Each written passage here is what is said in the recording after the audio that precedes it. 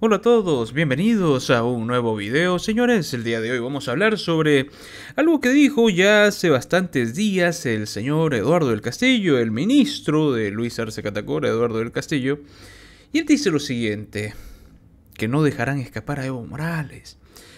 Es decir, de manera directa le dice a Evo Morales, cobarde, que has escapado una vez, no te lo voy a permitir yo, Eduardo del Castillo, no te lo voy a permitir. Y segundo, deja en clara las intenciones del ministro ir de manera frontal a Evo Morales. Vas a tener que escapar, le dice, o sea, hay una frase que dice de manera frontal y otra, clase de, otra frase que dice de manera indirecta. Uno cobarde, no escaparás. Y dos, lo que te vamos a hacer es perseguirte. Lo que vamos a hacer es buscarte. Porque muy posiblemente, luego de que los conflictos terminen, vas a hacer lo que hiciste cuando escapaste cobardemente. Vas a tratar de huir. Presten atención porque esto que dijo Eduardo del Castillo es verdaderamente interesante. ¿Por qué? Un socialista, un zurdo, un masista, siendo amenazado, insultado y atacado por otro masista, por otro zurdo, por otro socialista, que son básicamente lo mismo. Es increíble. Un socialista de, de un socialista a otro socialista. Vivo habla el ministro de Gobierno.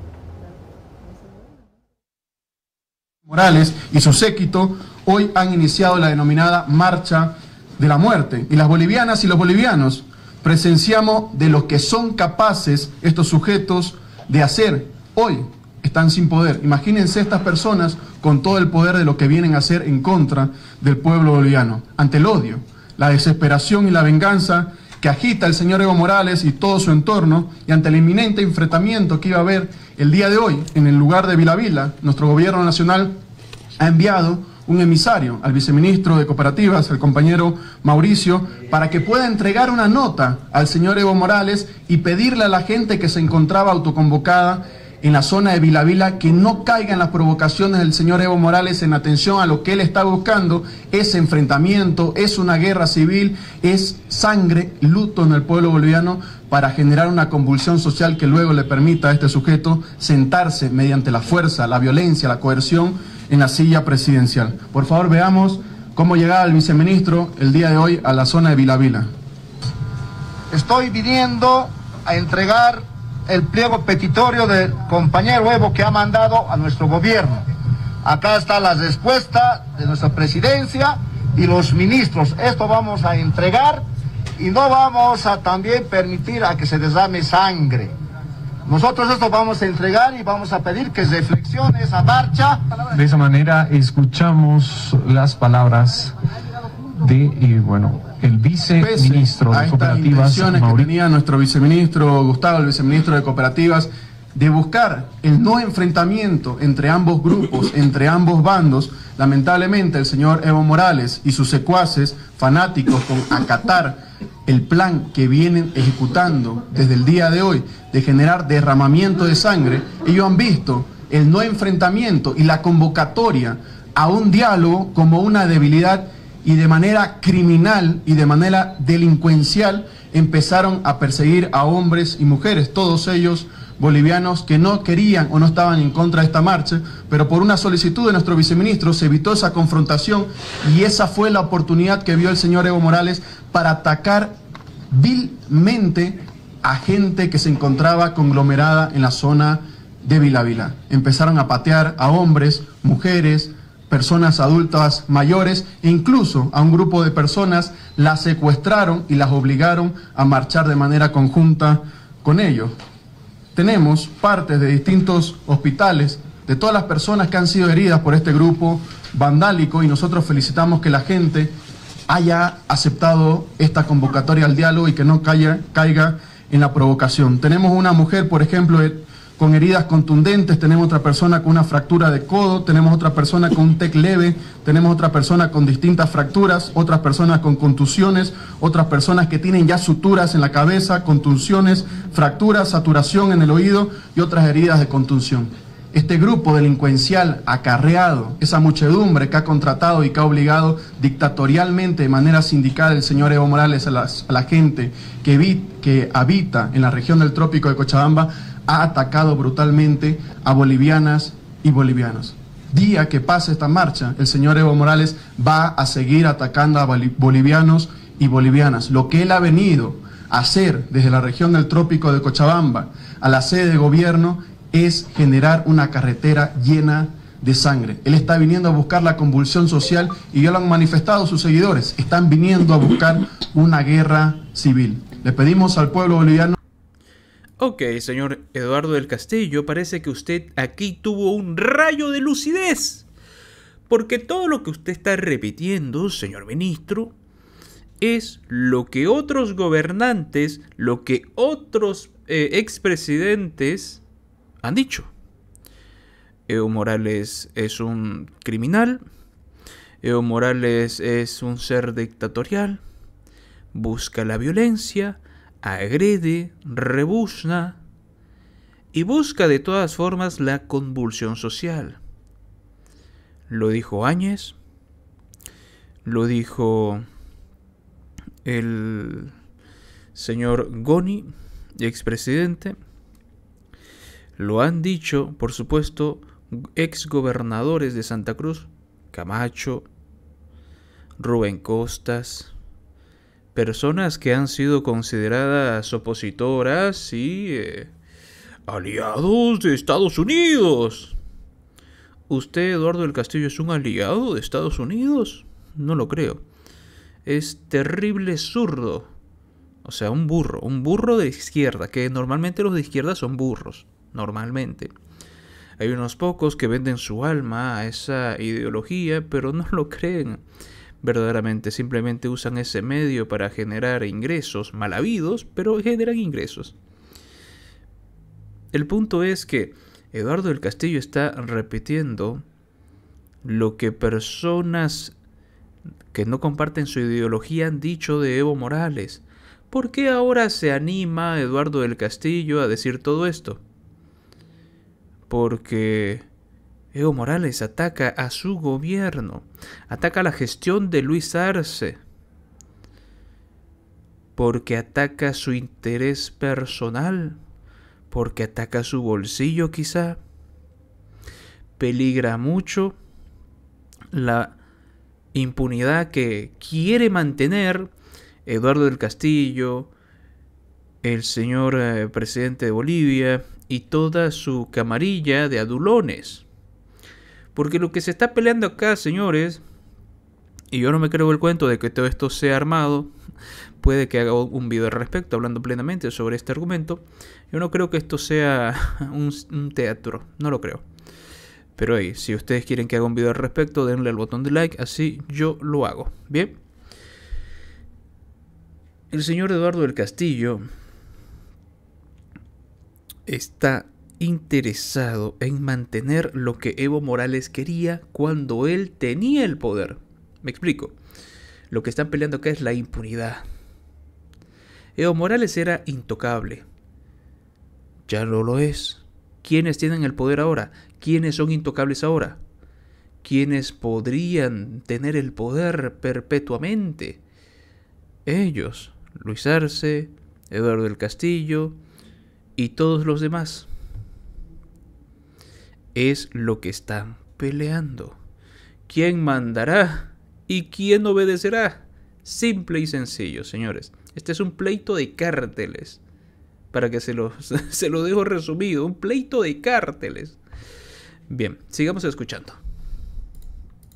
No, no caer en las provocaciones del señor Evo Morales y no ser parte del plan del señor Evo Morales que lo único que está buscando en nuestro país es luto, sangre como lo consiguió en la gestión, lamentablemente, del 2019. Y a manera de ir concluyendo, manifestar y mostrar algunas imágenes, como podemos ver en pantalla, cómo han atacado brutalmente al pueblo boliviano en el piso sin misericordia, personas adultos mayores, campesinos, indígenas.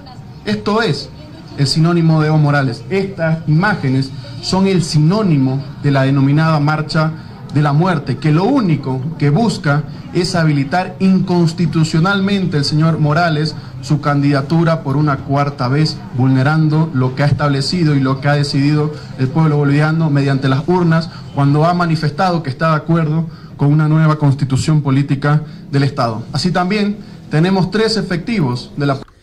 Evo Morales violó la constitución cuando él era presidente porque no salió Eduardo del Castillo a decir nada, porque él quería formar parte de esa impunidad, quería formar parte de ese imperio de la ideología cubana instaurada en Bolivia por medio de Evo Morales. Ninguno de estos masistas, ninguno de estos que dicen ahora Evo Morales dictador, que por Dios mío, que violó la constitución política del Estado. Ninguno le dijo eso en su momento. Ninguno le dijo eso al momento de cometer el delito. Cuando violó la constitución, cuando violó un referéndum, Evo Morales cometió un delito. Alguno de estos payasos que hoy en día dicen defender la democracia y la libertad, ¿dijeron algo? No. ¿Por qué? Porque tenían la esperanza de colgarse de esa desgracia para la libertad Evo Morales pudo haber sido su jefe perpetuo. Ahora Evo Morales no es jefe. El jefe o el mandamás ahora es otro. Se están peleando la impunidad. Simple y sencillo. Policía boliviana que han sido brutalmente agredidos por estas personas que los han herido. Uno de ellos se encuentra en, en este momento en emergencia en un hospital del Departamento de La Paz. La policía boliviana no había lanzado un solo gas lacrimógeno y no ha lanzado un solo gas lacrimógeno y pese a ello ha sido brutalmente atacada por esta gente, esta muchedumbre que ha llegado desde distintas zonas del país. Y a manera de concluir, después de todo lo acaecido el día de hoy, el señor Morales y toda esta gente que ha sido obligada a... Como Sencate y Sacaba, ¿verdad? Las víctimas de Sencate y Sacaba. ¿Por qué cuando lo hace un gobierno que es de izquierda, pero no es un gobierno que beneficia a los masistas, es un gobierno tiránico y que violencia y que, uy, que son casi casi hermanos de, de en ese entonces Donald Trump? ¿Por qué cuando lo hace, se lo hacen a ustedes, socialistas, Ahora sí es que son una muchedumbre, que son violentos, que agreden policías. Si es un escenario, señores, es un escenario calcado, parecido, idéntico a lo que pasó en Sencate y Sacaba. Ah, la narrativa de la falsa víctima, de los que son, entre comillas, humildes y pobrecitos, no puede, no puede darse ni llevarse a cabo cuando se trata de un gobierno de su misma ideología atacado por una muchedumbre de su misma ideología. Pero cuando no, hmm, víctimas de Sencati Sacaba. A ser trasladada hacia el Departamento de La Paz, ha confirmado su plan, ha iniciado la ejecución de su plan, ese plan que venía manifestando hace tiempo, mes a mes en nuestro país. Está llenando ya de sangre las carreteras y de luto al pueblo boliviano solamente por el único interés de satisfacer los apetitos electorales de una persona. Con eso no va a cambiar Bolivia. Los problemas que tenemos en el país lamentablemente tienen nombre y apellido y se llaman Evo Morales. Con el bloqueo que tiene, no solamente en las carreteras, con el bloqueo que tiene en el Parlamento y con el enfrentamiento que está generando, está buscando nuevamente confrontarnos unos a otros. Asimismo, le decimos desde el Gobierno Nacional que quienes intentaron realizar acciones golpistas estos últimos años, hoy se encuentran tras las rejas y no dudaremos en usar todos los elementos legales que tenemos con el Estado en nuestro país para actuar con toda la fuerza de la ley. Porque primero para nosotros está el pueblo boliviano y vamos a cuidar la vida y la integridad de todos y cada uno de los bolivianos. Al mundo entero, a la comunidad internacional le informamos que el señor Evo Morales pasó de ser una víctima de un golpe de Estado a ser un golpista confeso y que busca destruir la democracia en nuestro país y acabar con la vida de bolivianas y bolivianos para victimizarse y a través de esos elementos, lamentablemente, buscar sentarse mediante la fuerza en la silla presidencial. Nosotros, señor Evo Morales, no nos vamos a escapar como se hizo en la gestión 2019, abandonando a todo un pueblo, porque cuando se abandona un pueblo, de nuevo viene el luto, viene el dolor, viene la sangre, viene la persecución. Y este gobierno lo ha elegido el 55% del pueblo boliviano y gobierna para el 100% del pueblo boliviano. Este gobierno ha sido electo con la votación más alta en la historia de nuestro país. Nunca antes un binomio había sacado más de 3.4 millones de votos y por tanto no nos vamos a ir como lo hicieron en la gestión 2019. Señor Morales, su tiempo ha terminado y sus acciones criminales pronto van a concluir y pronto van a cesar. A todo el pueblo boliviano le decimos que vamos a protegerlo y las fuerzas del orden van a actuar en su defensa como siempre debió ser. Hoy Bolivia va a estar unida en contra de esos abusivos antidemocráticos. Muchísimas gracias. Si Luis Arce gobernara para todos los bolivianos, estaría muy preocupado en ayudar con la quema indiscriminada de la fauna y la flora en el oriente boliviano. Y es que parece que Luis Arce Catacora y todos sus ministrillos de pacotilla piensan como ciertos mal llamados influencers de TikTok que dicen cosas tan imbéciles que parece que no tienen una poca materia gris, como si la quema de estas zonas del oriente boliviano no representaran un peligro, para todos cuando se quema el oriente boliviano, señor ministro, el aire de toda Bolivia tiende a, ser intoxicante. No solo para el oriente boliviano. Pero ahí estamos hablando de que si a este gobierno le importara gobernar para todos, ¿verdad? No, no le creo. No le creo para nada. Pero estoy ansioso de que algo de lo que diga el señor ministro sea verdad. No dejar escapar a Evo Morales. Espero que sea verdad y no se baje de su de su ministro, de su sillita y ojalá tenga los huevos bien puestos para encerrar a Evo Morales. Le, doy un solo motivo simple y sencillo que puede darle a Evo Morales muchos años de cárcel. El Hotel Las Américas.